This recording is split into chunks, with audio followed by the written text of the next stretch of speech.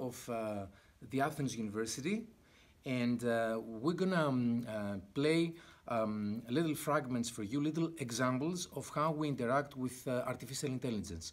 Jazz um, in dialogue with artificial intelligence and a couple of systems uh, that we are trying um, recently.